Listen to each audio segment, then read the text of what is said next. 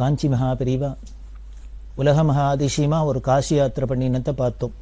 இருபத்தோரு வருஷம் காசி யாத்திரை பண்ணினா. அந்த காசி யாத்திரையில் பல சிரமங்கள். ரொம்ப இவ்வளவு விஸ்தாரமாக யாத்திரை பண்ணியிருக்கா. பல ஊர்களுக்கு பல க்ஷேத்திரங்களுக்கு. தமிழ்நாடு கேரளா ஆந்திரா மகாராஷ்டிரா மத்திய பிரதேசம் உத்தரப்பிரதேசம் மேற்கு வங்காளம் பீகார் ஒரிசா முதலான இத்தனை மாநிலங்கள்லையும் விஸ்தாரமாக யாத்திரை பண்ணினா அதுவும் பல இடங்கள் முக்காவாசி கால்நடையாகவே வேற நடந்து போனா. அந்த சிரமம்லாம் பெரியவாளுக்கு கொஞ்சம் இருந்தது. இருந்தாலும் அந்த சரீர பிரஜை கிடையாது அதெல்லாம் பாராட்டின கிடையாது. ஆனால் என்ன பண்ணினா பெரியவா கல்லூருங்கிற இடத்துல ஆறு மாதம் காஷ்ட மௌனம். இது ஆறு மாதம் அப்படிங்கிறது அப்புறம் தான் தெரியும். முதல்ல இந்த பூர்த்தி பண்ணிட்டு கும்பகோணத்தில் பூர்த்தி பண்ணிட்டு கல்லூருக்கு போனால் கல்லூரில் போய் மௌன விரதத்தை ஆரம்பிச்சா. காஷ்ட மௌனம் அப்படின்னா மௌனத்தில் ரெண்டு வகை. வாய் மட்டும் பேசாது இருக்கிறது. இது மௌனம். சாதாரண மௌனம். ஆனால் என்ன பண்ணுவோம்? நாம் கம்யூனிகேட் பண்ணுவோம் அடுத்தவாளோட ஜாடையில். இப்படி கையாடுறது கால தீர்த்தம் கொண்டு வாங்குறது அப்படிங்கிறது இப்படிங்கிறது இங்கே வராதுங்கிறது போகுங்கிறது இது மாதிரிலாம் நம்ம ஜாடையில் அபிநயத்தை பண்ணுவோம் இல்லையோ? இப்படி பண்ணுறது சாதாரண மௌனம். வாய் மட்டும் பேசாது ஆனால் கம்யூனிகேட் பண்ணிகிட்டே இருப்போம். காஷ்ட மௌனம் அப்படின்னாக்க இந்த ஜாடை இல்லாமல் ஒன்றுமே இருக்காது. காஷ்டம்னா கட்டைன்னு அர்த்தம். மரக்கட்டை அதுவும் பட்டு போன கட்டை உளுத்த கட்டை எப்படி இருக்கும்? ஒன்றும் பண்ணாது. அது மழையில் காஞ்சாலும் சரி மழையில் நனைஞ்சாலும் சரி வெயிலில் காஞ்சாலும் சரி எதுவாக இருந்தாலும் ஒன்றுமே பண்ணாது. இதே பச்சை மரத்தை கட்டையாக வெட்டி போட்டிருந்தோம்னா ஒரு மழை அடிச்சு நனைஞ்சு உடனே வெயில் அடிச்சுன்னா துளுக்க ஆரம்பிச்சிடும் இந்த பட்டை கட்டைனா ஒன்றுமே பண்ணாது. காஷ்டம் மாதிரி இருக்கும். அது மாதிரி தான் இருக்கார் பரமேஸ்வரன் எப்படி இருக்காருன்னு வேதம் சொல்றது. ஸ்தானவே நமஹா அப்படிங்கிறது ஸ்தானுன்னாலும் இதே இந்த கட்டை தான். அப்படி போட்டது போட்டபடி இருக்குது. ஏன்னா பிரம்ம மொழி ஆடாது அசங்காது அப்படியே இருக்கு. எந்த ஒரு ரியாக்ஷனும் இல்லாத அப்படி காஷ்டமா இருக்கிறது கட்ட மாதிரி கிடக்கிறது தான் காஷ்ட மௌனம். பெரிவா இந்த காஷ்ட மௌனத்துல இருந்தா ரொம்ப சிரமமா இருக்கும். அப்புறம் பல சந்தர்ப்பங்கள்ல பெரியவா அந்த காஷ்ட மௌனத்துல இருப்பா. இந்த காஷ்ட மௌனத்துல இருக்கிறதே ரொம்ப சிரமமா இருக்கும். ஏன்னா கூட பிறக இருக்கிறவாளுக்கு தான். பெரியவாளுக்கு இது வேணும்னு நினச்சிக்கிறதா வேண்டாம்னு நினச்சிக்கிறதா வேணும்னா வேணும்னு காமிக்க மாட்டா வேண்டான்னா வேண்டாம்னு சொல்ல மாட்டா போறோம்னா போறோம்னு சொல்ல மாட்டா இன்னும் கொஞ்சம் வேணும்னா வேணும்னு கேட்க மாட்டா. இப்படிலாம் இருந்ததுனாக்க எப்படி அவளுக்கு சமமாக கைங்கரியம் பண்ண முடியும்? அவளுக்கு வீடு கொடுக்க முடியும்? அப்படிதான் இருக்கும். ரொம்ப சிரமமான காரியம். ஆனால் எவ்வளவு ஆனந்தமாக இருக்கும் அப்படின்னார். எவ்வளவு ஆனந்தமாக இருக்கும்? இந்த காஷ்டமோனத்தில் தானே தட்சிணாமூர்த்தி இருக்கிற கோவிலில். அந்த சந்நிதியில போனா மட்டும் நம்மளோட மனசு நம்மள அடியாத அடங்குறதே. ஏன் அப்படின்னர் அங்க இருக்கிற அந்த எய்தாப்புல இருக்கிற அந்த வஸ்துக்கு எந்த ஒரு மனசும் சஞ்சலமும் அதுல எண்ணங்களும் இல்லாத சாந்தமா அமைதியா இருக்கிறதுனால கட்ட மாதிரி இருக்கிறதுனால நமக்கும் அங்க போனோன்னே அந்த காத்து மேலே பட்டோன்னே நம்மளையும் அறியாத மனசு அடங்கிறது நம்மளோட எண்ணங்கள்லாம் அடங்கிறது ஆசையெல்லாம் அடங்கிறது நமக்கும் ஒரு க்ஷண நேரத்துக்கானும் அது கிடைக்கிறது இல்லையா? அது மாதிரிதான் பெரியவாள் இந்த காஷ்டமௌன சமயத்தில் தரிசனம் பண்ணினோம்னா அதோட அனுபவமே தனி. பெரியவா மணிக்கணக்காக பேசின்னு இருப்பா அப்படி சிரிக்க சிரிக்க பேசுவா அத்தை பண்ணுவா இத்த பண்ணுவா இதெல்லாம் இருக்கிறது ஒரு ஆனந்தம். அப்படின்னா கூட இந்த மௌனத்தில் பார்த்தாலும் ஆனந்தமாக இருக்கும். அவா தட்சிணாமூர்த்திங்கிறதுக்கு சாட்சி. அந்த மௌனத்தில் அப்படி இருக்கிற பெரியவா கூட அந்த கருணை எப்படி இருக்கும் அப்படின்னா ஒரு சமயம் இப்படி காஷ்ட மௌனத்தில் இருக்கா அப்போ தரிசனத்துக்கு ஒருத்தர் வந்தார். ரெண்டு கண்ணும் தெரியாதவர் சங்கரன்னு பேர். அவர் தரிசனத்துக்கு வந்திருக்கார். கண் தெரியாதவர் எப்படி தரிசனத்துக்கு வரார்? அவர் தான் பார்க்க முடியாது எதுக்கு வந்தார்னு. அதுதான் புரியணும் நமக்கு. ஸோ இப்போ பெரியவாளை பார்க்கணும் அனுபவிக்கணும்னா கண்ணு இந்திரியங்கள்லாம் வேண்டாம் அப்படிங்கிறது இது இந்த நிகழ்ச்சியிலேருந்துலாம் தெரியும். ஏன்னா இந்திரியத்துக்கு அப்பாற்பட்ட ஒரு வஸ்து பிரம்மானந்த வஸ்து அதை அனுபவிக்க போகிறோம் அதனால் அதுக்கு இந்திரிய சகாயம் வேணுங்கிறதும் இல்லை. அப்படிதான் அந்த பக்தர் வந்திருந்தார். அவர் உள்ள வந்தோன்னு பெரியவா என்ன பண்ணினா சங்கரா வா அப்படின்னு கூப்பிட்டா. கூப்பிட்டா அவர்கிட்ட பேசியிருந்தா. பேசினா அவரை கண்ணு தெரியாது அவர் என்ன பண்றது? அப்படின்னா உடனே பெரியவா சொன்னா தேவாரங்கத்துக்கோ அப்படின்னு சொல்லி தேவாரங்கத்துக்கு சொல்லி அதுல அவர் பெரிய பண்டிதராகி அதுக்கப்புறம் இந்த தேவாரத்தை மற்றவர்களுக்கெல்லாம் சொல்லி கொடுக்க சொல்லி இதை மாதிரிலாம் பண்ணி அவருக்கு ரொம்ப பிரபலமாயிட்டார். தேவாரம் சங்கரன் அப்படின்னே பேர் அவருக்கு பிரசித்தமாகிடுது அப்படி பெரியவா அவருக்கு வழிகாட்டுச்சா இப்படிலாம் பண்ணியிருந்தா பெய்யா இது மடத்தில் இருந்து பார்த்த வழக்கெல்லாம் ரொம்ப ஆச்சரியமா இருந்தது. என்ன பெரியவா ஹிஸ்ட்ரியில் சரித்திரத்தில் இப்படி காஷ்ட மௌனத்தை பிரேக் பண்ணி ஒருத்தரோட பேசினதே இல்லை. இப்படி பேசுகிறாளே அப்படின்னு. அதில் ஒருத்தர் கேட்டார் ஆச்சரியமாக இருந்தது பெரியவா அப்படி மௌனத்தை கூட விட்டுட்டு விரதத்தை கூட விட்டுட்டு அவரோட பேசினாளே அப்படின்னு. அதுக்கு பெரியவா சொல்கிறா என்ன பண்ண சொல்கிறேன் மௌனத்தில் இருக்கிறதே அவன் வந்துட்டான் என்னை பார்க்கறதுக்கு. இப்போ உங்களை மாதிரி கண்ணு தெரியவா சாதாரணமாக வந்து பார்த்தாக்க நான் மௌனத்தில் இருந்தாலும் என்னை பார்த்தா கண்ணால் பார்த்துட்டு அந்த ஆனந்தத்தோட நேத்திரானந்தத்தோட போகலாம். அந்த அனுபவம் கிடைச்சிடும். ஆனால் இவருக்கோ கண்ணு இல்லை. அப்படி கண்ணு இல்லாதவருக்கு நான் தரிசனம் கொடுக்கணும்னா எப்படி கொடுக்கறது? அதனாலதான் என் குரலையான்னு காமிச்சேன். குரலை காமிச்சாலே அவர் பெரியவா அப்படிங்கிற குரலை கேட்டாலே போருமே. அந்த பெரியவாங்கிற உருவத்தை கண்ணால் பார்த்தா என்ன? பெரியவாளோட குரலை காதால கேட்டா என்ன? இன்னும் சொல்ல போனா என்ன கேட்டா பெரியவாளோட உருவத்தை கண்ணால பார்க்கறத விட அவளோட பெருமையை அவளோட குரலை காதால கேட்குறது தான் இன்னும் விசேஷம். தெய்வத்தின் குரல் தெய்வத்தின் குரல் தெய்வத்தின் குரல் இன்னைக்கு உலகம் முழுக்கலும் தர்ம வழியில போறதுக்கு ஒரு பெரிய வேத சாஸ்திர புராண இதிகாச பொக்கிஷமானா இருக்கு. அது அத்தனையும் அந்த மகானோட அந்த வாக்குன்னா குரல்னா தெய்வத்தின் குரல்னா. அதனால அந்த குரல் இன்னும் விசேஷம். அதையும் தரிசனம் தான் பண்ணுறோம் கேட்டாலும் அதுவும் தரிசனம் தான் அதுவும் அனுபவம் தான் ஆனந்தம் தான் அதனால் அவனுக்கு கண்ணு தெரியாதவனுக்கு என்ன பண்ணுறதுன்னு தெரியல. அதனால் குரலை காமிச்சு அவனுக்கு சந்தோஷப்படுத்தினேன் அப்படின்னு. அப்போது மற்றவாள்லாம் ரொம்ப உருகினா அதாவது தன்னோட விரதத்தையும் பங்கம் பண்ணிண்டு பக்தாளோட சௌரியத்துக்காக யார் யார் எப்படி வராளோ அவளுக்கு என்ன பண்ணினா சந்தோஷம் கிடைக்குமோ அப்படி ஆனந்தப்படுத்துறதுங்கிறது பெரியவாள்கிட்ட ஒரு தனி சிறப்பு. அவளை மாதிரி அந்த விரதங்கள்லயோ அவளோட அனுஷ்டானங்கள்லயோ கெட்டியா தீவிரமா விடாப்பிடியா இருந்தவாளும் கிடையாது. அவளை மாதிரி அன்புமயமா அத்தனை பேரோட அத்தனை பேரா கலந்து சௌலபியம் பழகினவாலையும் பார்க்க முடியாது. இது ரெண்டையும் அங்க பார்க்கலாம். அப்படி காஷ்ட மௌனத்துல இருந்த பெரியவா இது மற்றவாளுக்கெல்லாம் கைங்கரியம் பண்றவாளுக்கு சிரமம் அப்படின்னு சொன்னோம். இது இத்தனை நாள் அத்தனை நாள் அனௌன்ஸ் பண்ண மாட்டா. பெரியவாள்கிட்ட ஒன்றும் அனௌன்ஸ் பண்றதே கிடையாது. இந்த காரியம் இப்ப நடக்க போறது இன்னைக்கு நடக்க போறது அப்படி நடக்க போறது எல்லாம் ஒன்றும் கிடையாது. அந்த சித்தம் போக்கு சிவம் போக்கு அப்படின்னு என்னென்ன எந்தெந்த சமயத்துல எப்படி இப்படி நடக்கிறதோ அதை அப்படியே பார்த்துட்டே போகணும். இதுதான் ஞானியோட லட்சணம். பெரியவா ஒரு சன்னியாசியை பத்தி சொன்னா. பெரியவாள்கிட்ட பல சன்னியாசிகள்லாம் கூடவே இருப்பா. அதுல ஒரு மகானை பத்தி பெரியவா சொல்றா. அந்த சுவாமிகள் பேரை சொல்லி எனக்கு ஆயுசில் ஒரு நாளைக்கான அவரை மாதிரி இருக்கணும்னு ஆசை அப்படின்னு. என்ன பெரியவாளே பார்த்து ஆசைப்படுறாப்புல அந்த சன்னியாசி எப்படி இருந்தார் அப்படின்னு. அவர் எப்படி இருப்பாரான்னா ஒன்றும் சங்கல்பமே கிடையாதான். என்னென்ன எப்பப்படி அன்னன்னைக்கு வாக்கிறதோ அந்தந்த க்ஷணத்துக்கு என்ன நடக்கிறதோ எது கிடைக்கிறதோ அதை வச்சுன்னு ஜீவிதம் பண்ணுறது அப்படியே ஓட்டிண்டு போகிறது எப்படி ஈஸ்வர சங்கல்பத்தில் என்ன வாக்கிறதோ லபிக்கிறதோ அதில் சந்தோஷமாக இருக்கிறது அப்படின்னு வச்சுருந்தாரு. அப்படி இருக்கணும்னு எனக்கும் ஆசை அப்படின்னா. பெரியவா மட்டும் சங்கல்பம் பண்ணாளா அத்தை பண்ணாளா ஆசை இருந்ததா? ஒன்றும் இல்லை அவள் பட்ட சங்கல்பமோ பின்னால் பார்க்க போகிறோம் எத்தனை காரியங்கள்லாம் பெரியவா பண்ணியிருக்கா? எத்தனை ஸ்கீம் எல்லாம் போட்டு எத்தனை திட்டங்கள்லாம் போட்டு உலகத்துக்கு பண்ணியிருக்கா அப்படின்னு. இது இத்தனை எதுக்காக பண்ணா? வேற ஒன்றும் அவருக்கு சொந்த லாபத்துக்காக லயா பைசா லாபம் கிடையாது. அத்தனையும் உலகத்துக்காக ஜனங்களோட க்ஷேமத்துக்காக தர்மம் நிலைச்சு நிற்கிறதுக்காக பண்ணினதுதான் அதனால அவருக்குன்னே எதுவும் சங்கல்பம் கிடையாது. அப்படிதான் இருக்கா? இருந்தா கூட ஒரு மழம் அதுக்கு உண்டான அந்த பரிவாரங்கள் அதுக்கு உண்டான கடமைகள் இப்படி எல்லாம் இருக்கிறதே அவளுக்கு ஒரு பாரமா தான் இருந்திருக்கு. அப்படி ஞானியா இருந்ததுனால அவளுக்கு அந்த சுவாமிகள் மாதிரி எனக்கும் ஒரு நாளைக்கான இருக்கணும்னு ஆசையா இருக்கு. அப்படின்லாம் சொல்லியிருக்கா. இந்த காஷ்ட மௌனத்துல இருக்கிற பெரியவாளை மற்றவா எல்லாம் எப்படி புரிஞ்சுக்கிறது ஈடு கொடுக்க முடியாதுன்னு சொன்னோம்.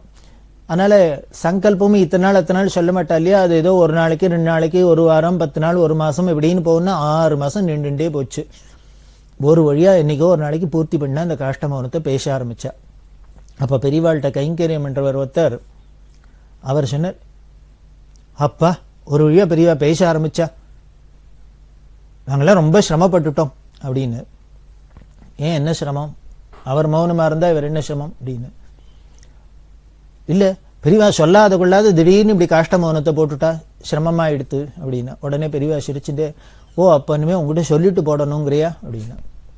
இனிமேல் எல்லாத்தையும் சொல்லிட்டு உத்தரவு வாங்கிட்டு அனௌன்ஸ் பண்ணிவிட்டு நான் இத்தனாம் தேதியிலேருந்து இத்தனாம் தேதி வரைக்கும் மௌன விரதம் இருக்க போகிறேன் இதெல்லாம் சொல்லணுங்கிறியோ நீ? அப்படின்னு. இல்லை இல்லை அப்படின்னு இல்லை. எங்களுக்கு தான் சிரமமாக இருக்குது பெரியவாளுக்கு எப்படி சுசூஷ பண்ணுறதுன்னு தெரியல. அப்படின்லாம் அவர் சொல்லியிருந்தேன் உடனே பெரியவா கேட்குறா நான் ஆறு மாதம் பேசாத இருந்ததுக்கே இவ்வளவு குறப்பட்டுக்கிறீளே. இத்தனை இருபத்தோரு வருஷம் யாத்திரை பண்ணினோம். ஊர் ஊரா பேசிந்தேன் கொள்ள பேச்சு பேசினேன் எங்க போனாலும் பேச்சு தான் இப்படி பேசிண்டே இருந்தேன் வாய் ஓயாத. அப்ப யாரானு கேட்டேளோ? அப்படின்னு. என்ன கேட்பா அவர் வாயை திறந்து பேச பேச நவரத்னமா முத்தா குமியறது கொட்டுறது அத்தனையும் தெய்வத்தின் குரல். அதனால சந்தோஷமா இருக்கு உலகத்துக்கு உபயோகமா இருக்கு கேட்டுட்டே இருக்கலாம். அதனால பெரியவா கேட்கிறா பேசினுக்கிறதையும் சுவாமியில ஏன் வாய் ஓயாத பேசிட்டு கேள் அப்படின்னு யாராலும் கேட்டாளா இப்ப நான் மௌனமா இருக்கிறதையும் மட்டும் ஏன் மௌனமா இருக்கேள்னு கேட்கிறேளே அப்படின்னு. அவர் கைங்கரியம் என்றவர் சொன்னார் பெரியவா பேசியிருந்தாக்க எங்களுக்கெல்லாம் லாபமா இருக்கு அவ மௌனமா இருந்தாக்க எங்களுக்கெல்லாம் சிரமமா இருக்கு அப்படின்னா. ஆனா மௌனமா இருந்தாலும் நமக்கு லாபம். ஏன்னா சும்மா இரு சும்மா இருன்னு சொன்னா போருமான அந்த சும்மா எப்படி இருக்கிறது? எப்படி இருக்க முடியும்? அப்படின்னு இருந்து காமிச்சா ஆச்சரியம் என்னென்னா எத்தனாம் பெரிய ஒரு மடாதிபதி எத்தனை விஐபிஸ்க்கெல்லாம் வரா ராஜாதி ராஜாக்கள்லாம் வரா எத்தனை லட்சக்கணக்கான ஜனங்கள் எவ்வளவு அவ அவளுக்கு குறைகள் சந்தேகங்கள் எத்தனை பேரை பார்க்க வேண்டியிருக்கு இவாளுக்கே பூஜை அனுஷ்டானம் யாத்திரை முதலான எத்தனை கடமைகள்லாம் இருக்கு இத்தனையும் வச்சுண்டு இத்தனைக்கு நடுப்புறமும் சும்மா இருக்கிறது அப்படின்னா நிஜமாவே ஒரு பிரம்மனிஷ்டரா பிரம்மஜானியா இருந்தாதான் முடியும். பெரியவா கலவைங்கிற இடத்துல இருந்தா அப்போ கலவையில இருக்கிறதே பெருந்தலைவர் காமராஜ் தரிசனத்துக்கு வந்தார். ராஜகோபால் அப்படிங்கிற பக்தர் அவர் அழிச்சுன்னு வந்திருந்தார். பெரியவாள்கிட்ட ரொம்ப அசாத்தியமான பக்தி காமராஜருக்கு. அப்படி இல்லாம போயிருந்து தரிசனம்லாம் பண்ணியிருந்தார். பண்ணிட்டு ஒன்றும் பேச்சு கீச்சு இல்லை. பெரியவாளை வெறும் தரிசனம் மாத்திரமே போரும் அப்படின்னு தான் தரிசனம் பண்ணிட்டு வந்தார். திரும்பி வரத்தே இந்த காரில் வரத்தே ராஜகோபால்கிட்ட சொல்லிட்டு வர்றார். எத்தனையோ நாளா நினைச்சதுப்பா. இப்பதான் கிடைச்சது. என்னால் மறக்கவே முடியல. பெரியவா கொடுத்த அந்த பிரசாத தட்டை கூட அவரை அடுத்த வாழ்கிட்ட கொடுக்கல ஒன்றும் தாம் அடியிலேயே வச்சுட்டு வந்தார். அவ்வளவு பவித்திரம் அப்படின்னு. அப்படியே மறக்கவே முடியல மறக்கவே முடியல. நினைக்க நினைக்க ஆச்சரியமா இருக்குது இப்படி ஒரு வக்தி இருக்க முடியுமா? இப்படி ஒரு வக்தி இருக்க முடியுமா? அப்படின்லாம் ரொம்ப பெரியவாளை பற்றி ஸ்தோத்திரமண்டே பண்ணே ஊருக்கெல்லாம் வந்தார். அதுக்கப்புறம் இவர் அரக்கோணத்தில் ஏதோ மீட்டிங் அங்கே போயிருக்கார். அப்போ பெரியவா கலவையில் போய் பெரிய காமராஜர் கலவையில போய் பெரியவாளை பார்த்துட்டு வந்தார் அப்படின்னு தெரிஞ்சோடனே அந்த தொண்டர்களில் இன்னொருத்தர் என்ன பண்ண இன்னொரு முக்கியஸ்தர். அவளுக்கு தெரிஞ்ச இன்னொரு குரு அவரோட சுவாமிகள் அவரை பார்க்க வரணும்னு காமராஜரை வற்புறுத்தினர்.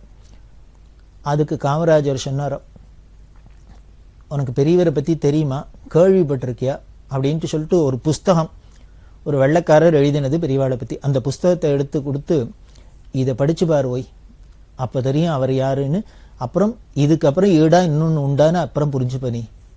இதை படிச்சு பாரு ஓய் அப்படின்னு கொடுத்தாரு அப்படின்ட்டு. அதுக்கப்புறம் சொல்லுவா அவர் வாழ்க்கையில் அந்த தாக்கம் எப்படி இருந்திருக்கு அந்த பெரியவா அவளோட அந்த இன்ஃப்ளூயன்ஸ் எப்படி இருந்தது அப்படின்னா அவர் அப்புறம் இங்கே தமிழ்நாட்டில் மந்திரியாலாம் இருந்தார் முதலமைச்சராக இருந்தார். இதை விட்டுட்டும் டெல்லியில் போய் காங்கிரஸ் தலைவரெல்லாம் போனார். அப்போ ஒரு தொண்டர் கேட்டாராம் எப்படி தலைவரே அவங்களால முடியறது? ஒரு முதலமைச்சருங்கிற பதவியை விட்டுட்டு ஒரு கட்சி தலைவர்ங்கிற பதவிக்கு எப்படி வர முடியறது? ஏன்னா பார்த்தாக்க இது முதலமைச்சர் அப்படிங்கிறது ஒரு பெரிய பதவி மாதிரி இருக்கு என்னமோ ஒரு கட்சி தலைவருங்கிறது சாதாரண மாதிரி இருக்கும் இல்லையோ? எப்படி இவர் ஒரு பெருசை விட்டுட்டு சின்னதுக்கு வர முடிஞ்சது அப்படின்னு கேட்டாக்க உங்களால தான் முடியும் தலைவர் இப்படிலாம் தியாகம் பண்ண அப்படின்னு அவ அவரை ஸ்தோத்திரம் பண்ணாராம். அதுக்கு காமராஜர் சொன்ன வார்த்தை என்ன தெரியும் ஓய் உனக்கு? தியாகத்தை பத்தி. ஒரு பதவியை விட்டுட்டு இன்னொன்னு போய் பிடிச்சிக்கிறது வேற தியாகமா? தியாகம்னாக்க என்னன்னு தெரிஞ்சுக்கணும்னா கலவைக்கு போவை அங்க போய் பெரியவர் இருக்கார் அவரை பார்வை அதுக்கு பேர் தியாகம் அப்படின்னு. நானும் ஒரு பதவியை விட்டுட்டு இன்னொரு பதவியை படிச்சுட்டு இருக்கேன். அதுக்கே நீங்க தியாகம் ஆஹா ஓஹோங்கிறீள். ஆனா எப்பேற்பட்ட பதவியில இருந்தார் ராஜாதி ராஜாக்கள்லாம் வந்து காலில் விழற சங்கராச்சாரியார் ஜெகத்குரு அப்படிங்கிற பட்டத்தோடு இருந்த பெரும் பதவி. அந்த பதவியை ஒரு நிமிஷத்தில் அத்தனையும் துச்சமாக தூக்கி போட்டுட்டு ஏகாந்தமாக போய் உட்காந்து ஒரு குடிசையில் உட்காந்துருக்கார் இருக்கார் அப்படின்னா அவரை யாரானும் கம்பல் பண்ணினாரா? நீங்கள் இந்த பதவியை விட்டுடணும் அடுத்த வாரச நியமனம் பண்ணுங்க அது இது இதான்னு சொன்னாரா? அவராகவே ஒரு வாரச நியமனம் பண்ணிவிட்டு எல்லாத்தையும் விட்டுட்டு அந்தன போய் இருக்கார் அப்படின்னா இந்த முன்னால அந்த பதவியில இருந்த அந்த சாயல் துளிக்கூட இல்லாத எப்படி ஏகாந்தமா இருக்கார் அப்படின்னா இதுக்கு பேர் தியாகம். அவருக்கு ஒரு கம்பல்ஷனும் இல்லை. ஒன்றும் ஒரு ப- ஒன்று பெருசை விட்டுட்டும் இன்னொன்னு பிடிக்கல. ஒரு பதவியை விட்டுட்டும் இன்னொன்னு எல்லாம் பிடிக்கல. திறந்தது விட்டதுன்னா ஒரே விட்டது தான் அப்படி இருக்கார் அப்படின்னு. அதுதான் பெரியவாளோட அந்த பிரம்ம நிஷ்டையை காமிக்கிறது. ஞானிங்கிறத காமிக்கிறது. ஸ்ருங்கேரி ஆச்சாரியால் சந்திரசேகர பாரதின்னு வந்தார். அவரும் பெரிய மகான் யோகீஸ்வரர். அவர் பெரியவாளை பற்றி சொல்லியிருக்கார். பெரியவாள்கிட்ட காஞ்சி பெரியவாள்கிட்ட ரொம்ப பிரியம். முன்னமே பார்த்துருக்கோம். பெரியவா இளையாத்தங்குடியில் இருக்கிறதே குன்னக்குடியில் அவரும் சாதுர்மாசியம் பண்ணி இந்த ஒரே வருஷம் ரெண்டு பேரும் இளையாத்தங்குடியிலையும் குன்னக்குடியிலையும் இருந்தால் இந்த பக்தாள்லாம் எங்கேயும் அங்கும் போயிட்டு வரதெல்லாம் அப்படிலாம் சொல்லியிருந்தோம் ரெண்டு பேரும் விசாரிச்சுப்பா எல்லாம் சொன்னோம். அப்படி இருக்கிறவர் அவர்கிட்ட அவ சிஷ்யாலாம் பக்த கேட்டாளாம். காஞ்சி பெரியவர் இப்படி ஊர் ஊரா யாத்திரை பண்ணி என்னெல்லாமோ ஸ்கீம் போட்டு தர்மத்துக்கு பிரச்சாரம் பண்ணி அது இதெல்லாம் பண்ற நீங்க இப்படி ஏகாந்தமா உட்காந்து ஜபத்துல தபத்திலேயே இருக்கேளே நீங்களும் இது மாதிரி பண்ணினா நன்னா இருக்குமே. உலக உலகத்துக்கு பிரயோஜனமா இருக்கும். நம்ம மடத்துக்கும் ஒரு பேர் புகழெல்லாம் கிடைக்குமே அப்படின்லாம் சொல்ல அதுக்கு சந்திரசேகர பாரதி சொன்ன வார்த்தை.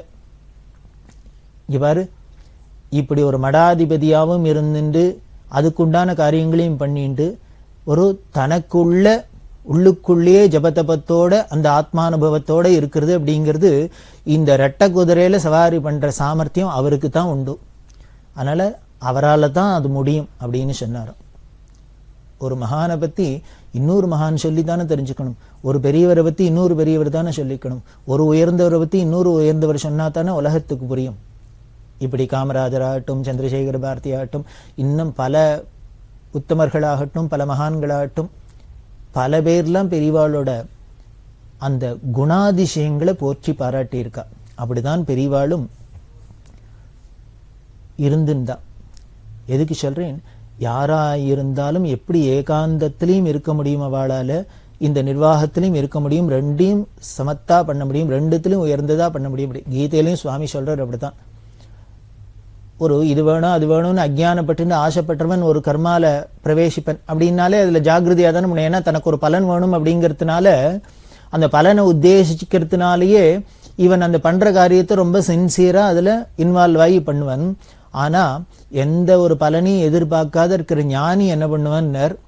அந்த பலனை எதிர்பார்க்கிறவன் அந்த காரியத்தை எப்படி பண்றானோ அதை விட அழகா சாமர்த்தியமா இந்த பலனில் அபேட்சை இல்லாத ஞானி நன்னாவே பண்ணுவன் அப்படிங்கிற அப்படி இந்த கீதா வாக்கியத்துக்கெல்லாம் நிதர்சனமா ஒரு உதாரணத்தை பார்க்கணும் அப்படின்னா சாட்சாத் பெரியவாளை பார்க்கலாம்.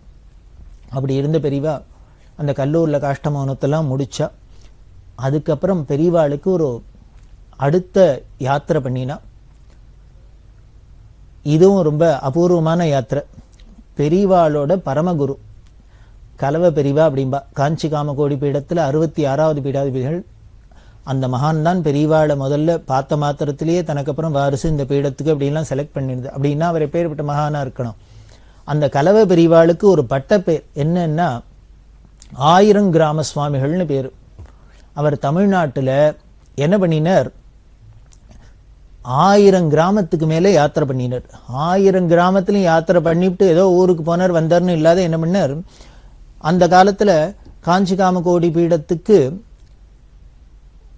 வருமானம்லாம் ரொம்ப கம்மியா இருந்தது போறல அதுக்காக இவர் என்ன பண்ணார்? ஆயிரம் கிராமத்திலையும் யாத்திரை பண்ணி இது தஞ்சாவூர் ஜில்லாலாம் எல்லாம் ஒரே நஞ்ச புஞ்ச முப்போகம் விளையிற பூமிகள்.